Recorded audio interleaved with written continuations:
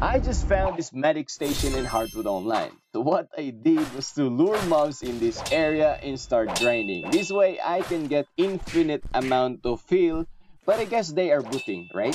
Well, I get free heal. At least.